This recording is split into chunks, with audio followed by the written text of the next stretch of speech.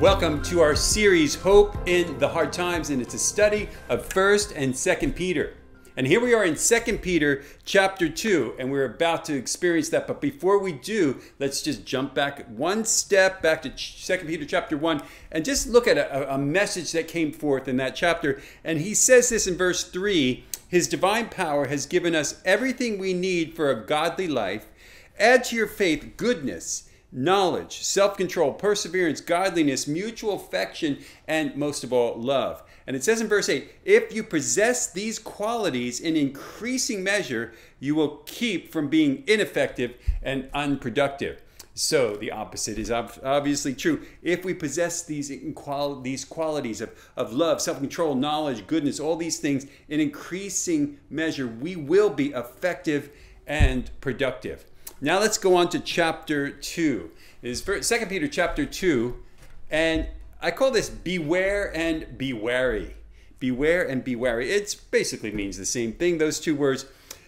But it says this, we need to really be wise because there's you'll see that there's false teachers out there, there's misleading messages, and they're coming at us greater than ever before, in more ways than they ever did before, probably more frequency than they ever did before. It because in the modern age that we live in, we're inundated with destructive heresies from more sources in more ways that were even imaginable when Peter was alive and writing these letters to the churches. Think about the, the immense amount of messaging that comes to us every day through screens and otherwise, and many, many of those things are false. Not much of it is the truth of the gospel. And so we have to be vigilant. And Peter exhorts us to be vigilant in regard to guarding ourselves from deception and protecting ourselves and our flocks from what he calls false teachers and false prophets. All right, so let's get into 2 Peter chapter 2 starting with verse 1. But there were also false prophets among the people, just as there will be false teachers among you. They will secretly introduce destructive heresies, even denying the sovereign Lord who brought them, bringing swift destruction on themselves. Many will follow their depraved conduct and will bring the way of truth into disrepute. In their greed, these teachers will exploit you with fabricated stories. All right, so he's warning that false teachers among you, he says, among the people, this is not talking about other faiths or other religions. That's that's understood.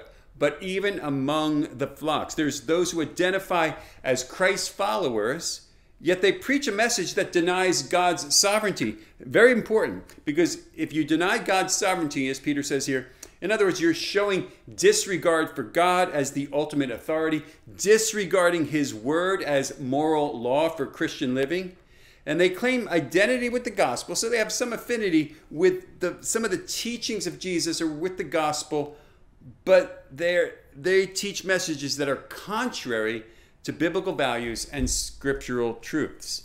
Now this is so important because some people they like jesus they want to identify with jesus just like they might want to identify with mahatma gandhi or other people through history who you know seemingly were good guys. But they teach messages that don't adhere to scriptural truth and, and biblical values.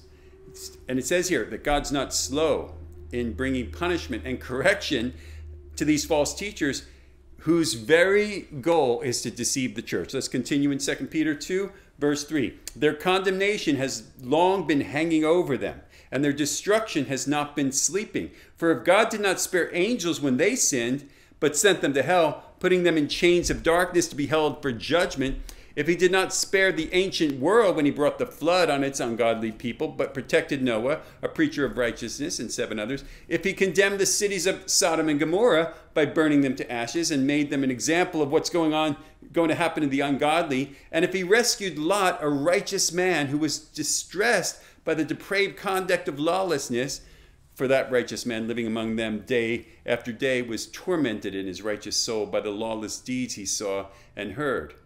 If this is so, then the Lord knows how to rescue the godly from trials and to hold the unrighteous for punishment on the day of judgment. This is especially true for those who follow the corrupt desire of the flesh and despise authority. Wow, what a warning. Oh, he uses Old Testament examples of Noah, of Lot and Sodom and Gomorrah. Uh, he talks about them bearing God bringing forth judgment upon the unrighteous and protecting those who were righteous, like the ones we just mentioned. See, God knows how to rescue the godly and punish the unrighteous, especially the unrighteous who follows what he calls here the corrupt desire of the flesh. That's what he said in, in verse 10. And, and, and this word, the flesh, is the Greek word sarx, S A R K or S A R X, and that means sinful nature. It's not so much skin and bones and skin and bodily tissue. It's talking about the sinful nature, the flesh. Uh, it's always in conflict with the spirit. It's stri- the flesh is striving to crave, you satiate those cravings of the sinful body and the mind, and it always leads to destruction. One of my favorite verses, Romans 8 6, tells us that the mind governed by the flesh is death, but the mind governed by the spirit is life and peace. Let's continue to verse 10. Bold and arrogant, they are not afraid to heap abuse on celestial beings. Yet even angels, although they are stronger and more powerful, do not heap abuse on such beings when bringing judgment on them from the Lord. But these people blaspheme in matters they do not understand. They are like unreasoning animals, creatures of instinct, born only to be caught and destroyed, and like animals, they too will perish. Verse 13, they will be paid back with harm for the harm they have done. Whoa, that's a warning. Now, he uses the word blaspheme here. And blaspheming really means to speak irreverently about God or sacred things. That's the definition. But they speak irreverently about God in matters they don't understand. And they just, un, like unreasoning animals, he says, they're just creatures of instinct, their own way, their orientation, whatever they feel that their human nature craves or desires or leads them to or compels them to, that becomes the rule of law, not the Word of God. Now, God is a forgiving God. He is a forgiving God. His mercies are everlasting. He forgives those, all those who cry out to Him. But, hear this God is also a God of justice and often allows the consequences of sin to take place. You see, God is not mocked. We read about this in Galatians 6, 7 through 8. What does it mean that God is not mocked? Well, here's what it says Do not be deceived. God is not mocked. Whatever a man sows, he will reap in return. The one who sows to please the flesh, from the flesh will reap destruction. But the one who sows to please the Spirit, from the Spirit will reap eternal life. You reap what you sow, whether you're a believer or not whether you are a godly person who believes in God or the most devout atheist who doesn't even acknowledge God's existence, you reap what you sow. Now, often the destruction comes swiftly, but other times it comes over time. And no one who pursues wickedness gets away with it, especially when it is directed towards God's people, particularly his children. And Jesus talked about this. And he, and he says this in Luke 17 1 Things that, things that cause people to stumble are bound to come, but woe to anyone through whom they come. It would be better for them to be thrown into the sea with a millstone tied around their neck than to cause one of these little ones to stumble. You see, Jesus recognized, in this case it was the Pharisees, leading people who were seeking God into a way of deception and corruption. And he said it's better for them to have a millstone thrown around their neck and thrown into the sea so they could stop doing that, perhaps. Peter called Jesus the shepherd of our souls in, in 1 Peter. The shepherd of our souls. And the primary job of the shepherd is to protect the sheep.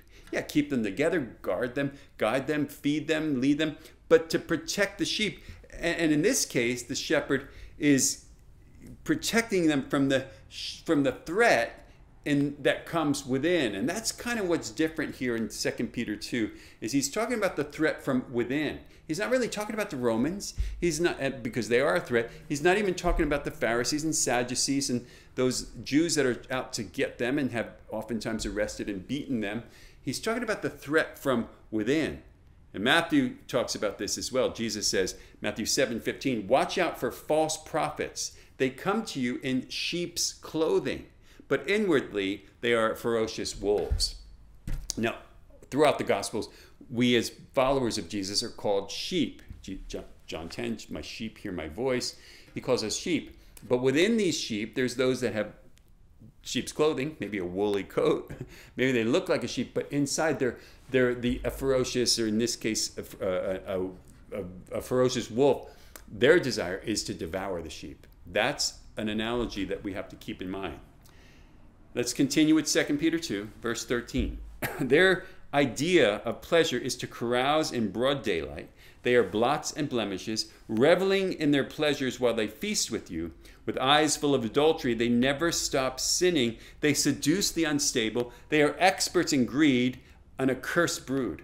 They have left the straight way and wandered off to follow the way of Balaam, son of Bezer who loved the wages of wickedness, but he was rebuked for his wrongdoing by a donkey, an animal without speech, who spoke with a human voice and restrained the prophet's madness. Okay, so Peter is assuming that you know about Balaam. Um, Peter, as you know, was raised Jewish, raised in the synagogue, uh, understood all the Old Testament stories, including this one from Numbers chapter 22. And it's a really interesting, somewhat comical story in some ways. I mean, here you have Balaam, who was a known prophet. He could understand things from the Lord. He had a gift of prophecy, even foretelling uh, future. But he had taken money from Balak, who was the king of the Midianites, I believe, at this time. But he, he had taken money to curse the Israelites, to lay a curse on them so they wouldn't succeed in battle.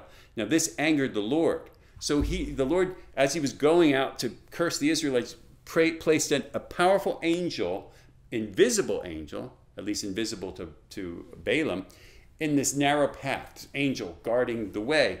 And as they're approaching it, the donkey saw the angel. Balaam did not, and the donkey would not go past it. And Balaam is beating his donkey, trying to get him to go through this pass because he didn't see the angel. Beating him three times, beat the donkey. The donkey would not proceed any further. He saw this powerful angel. Well, just when Balaam was about to kill the donkey, the donkey spoke up, literally, in a human voice, spoke up and rebuked Balaam for what he was about to do. And at that point, God opened the eyes of Balaam to see this angel. Oh, he fell down before the, the angel. Now, he was in reverence to the Lord here, but what we see, why Peter uses this, is someone who started out on, the, on a really good path, a faithful prophet was lured away, in this case by the love of money, to actually speak out, act out against God's people. And uh, that did not go unpunished. Balaam died, was killed in the battle that he was trying to warn against. All right, so Second Peter, continue, verse 17, chapter 2. These people are springs without water and mists driven by a storm. Blackest darkness is reserved for them, for they mouth empty, boastful words and by appealing to the lustful desires of the flesh, they entice people who are just escaping from those who live in error. They promise them freedom while they themselves are slaves to depravity. For people are slaves to whatever has mastered them. Well, that's a great quote.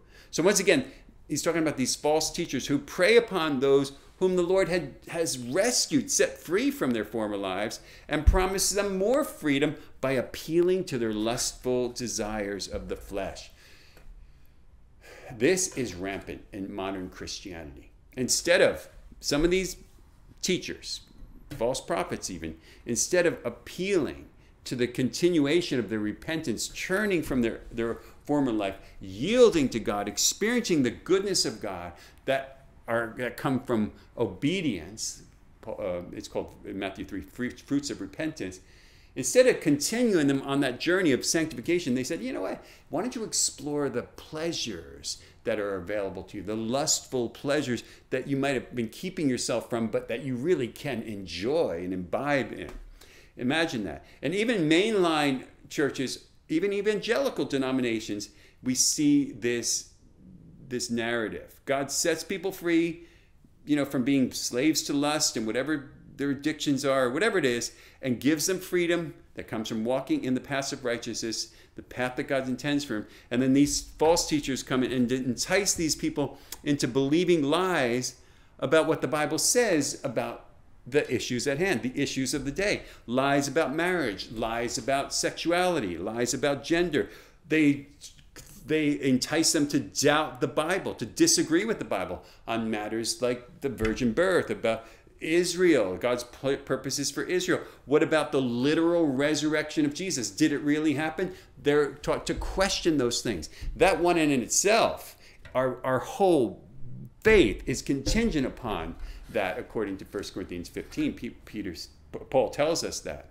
In other words, they place themselves above the authority of the Word of God and they operate in the flesh.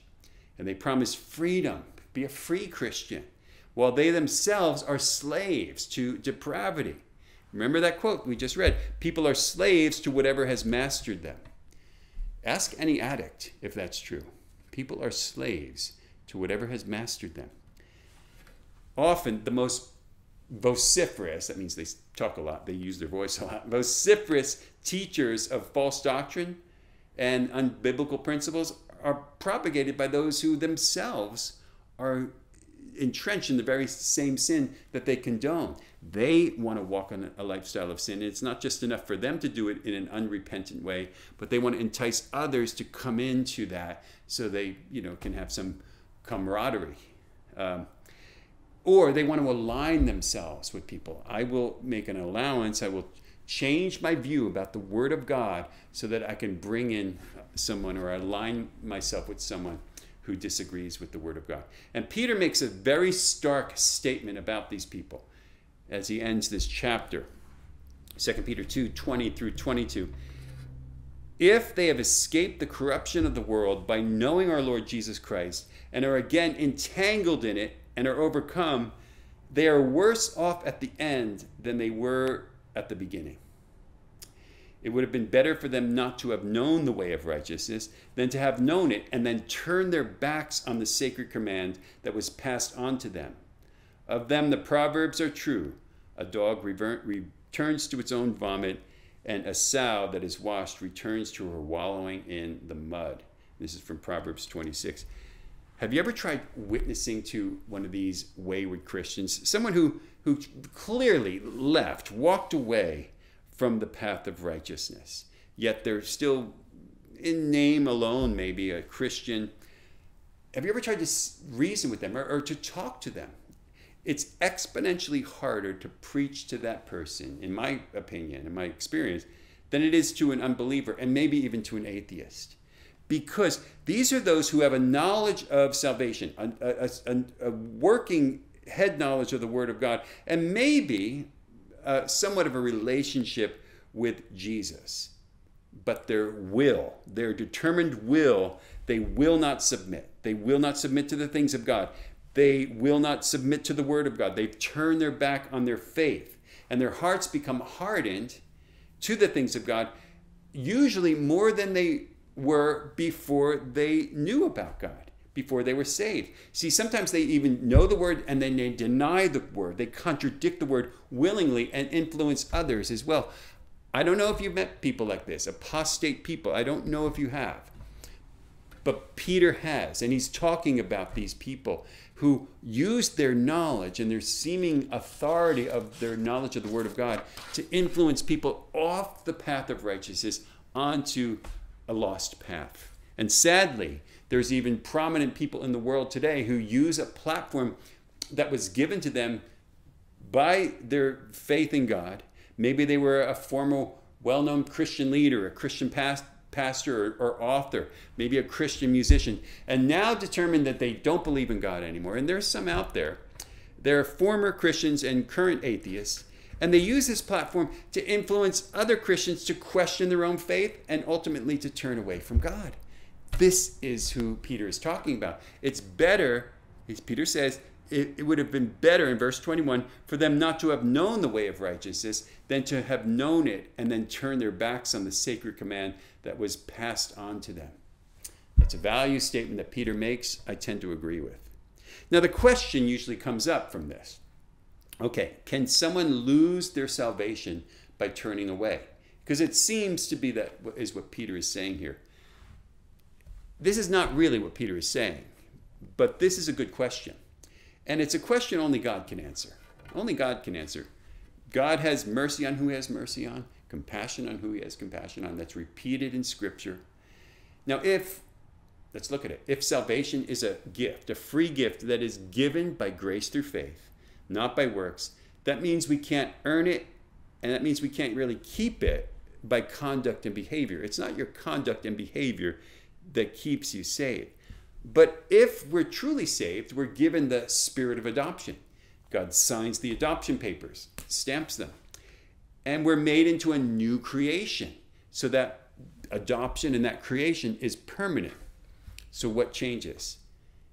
You know, when we become a believer, some people say we are a convert. And that's not such a bad term. You're a convert. But there's a difference between a convert and a convertible. you know what a convertible is. A convertible is something like, you know, convertible couch, a convertible car. You can have it open, you could have it closed. Open, closed, open, closed. Not a convert. A convert, once it's converted or we are converted, we are changed into a new creation. Now, what about these people Peter's speaking of, or people we know? It's very possible that those who have, quote unquote, known the way of righteousness, then turn their backs on it, were never truly saved to begin with, and were always merely sheep in wolves' clothing. I'm sorry, wolves in sheep's clothing. But again, remember, only God knows the heart, and only God can judge. Jesus says, however, and listen to what he does when he addresses this. In Matthew 7, verse 15, Jesus says, Watch out for false prophets. They come to you in sheep's clothing, but inwardly they are ferocious wolves. By their fruit you will recognize them. Do people pick grapes from thorn bushes or figs from thistles? Likewise, every good tree bears good fruit, but a bad tree bears bad fruit. A good tree cannot bear bad fruit, and a bad tree cannot bear good fruit. Every tree that does not bear good fruit is cut down and thrown into the fire. Verse 20 Thus, by their fruit you will recognize them. So, another question What about people who are really gifted leaders, really gifted teachers, or musicians, or singers, or songwriters, or speakers, or luminaries, these Christian people? What is it about them that validates their ministry? Is it the fact that they have just an incredible gift of speaking, singing, or writing, or whatever? Is it because they have a huge following? Is it because they seem to operate in Holy Spirit power? Is that what validates them as a good tree? Not really, according to what we just read in Matthew 7. We do not judge a tree by its gifts, but by its fruit here in New Jersey, we have great local orchards, especially in the early fall. You can go to the local orchards around New Jersey and see the most abundant, beautiful crop of um, many varieties of apples. Apples, it's one of the greatest fruits that come from New Jersey's Garden State. So it's apple picking here. And some apples have wonderful trees, and others not so much. And, and the good trees bear good fruit, and the bad trees don't necessarily bear good fruit good, good fruit. But there's a difference between an apple tree, which is a fruit tree, and a gift tree. And I'll explain that. So, a gift tree versus a fruit tree. What's the difference? Well, if you think about an apple tree, that's a fruit tree.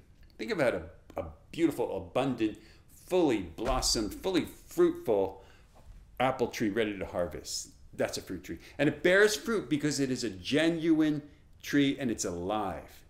Remember what Matthew 7 says, 17 and 20. Even so, every good tree bears good fruit, but by their fruits you will know them. Now, there's another tree that shows up around this time of year, usually in the big box stores that are preparing for their Christmas season, and they bring out their Christmas trees. And I'm talking about the beautiful artificial trees that come pre flocked, come pre lit. You snap them together, you put them in your house. And this is a Christmas tree. Now, especially these, these Christmas trees, they will not bear fruit. But usually they can and usually do bear gifts. I'll just look at one of these trees on Christmas morning. So just imagine the most beautiful, artificial, clearly artificial, well lit, well decorated tree.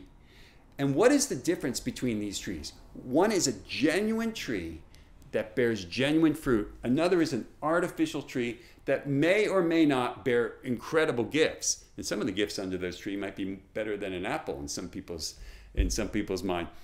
But which one is genuine? There's only one way to tell a genuine tree, and it is by its fruit. That's why Matthew 7 22, Jesus continues. Many will say to me on that day, Lord, Lord, have we not prophesied in your name? cast out demons in your name, done many wonders in your name, and then I will declare to them, I never knew you. You see, I consider myself a charismatic Christian. That means charis is gift, matic is motion, gifts in motion. I love to see people walk in their gifts and put them in motion. I love the gifts of the Spirit, but they are not the indicator of God's presence, God's genuine presence in someone's life, according to Matthew 7. The fruit of the Spirit that we see in Galatians 5 and the fruit of repentance that we see in Matthew 3 these are what determine a genuine tree, a genuine good tree. And only a good tree can bear good fruit. So we have to ask ourselves in clothing, closing, what about us?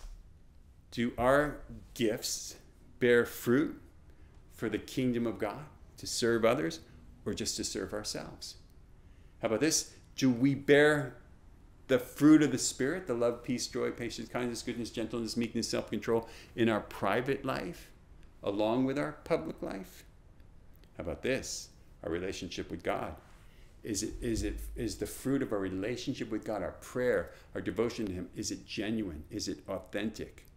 You see, only the Holy Spirit can empower us with the wisdom and the knowledge and the fruit of the Spirit that comes from God. It doesn't come from any other source but the power of the Holy Spirit within us.